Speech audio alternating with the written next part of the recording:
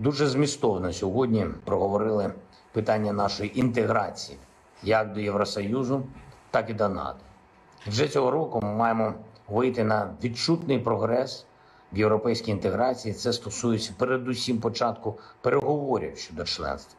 Польща і Литва однаково і всебічно готові нас підтримувати.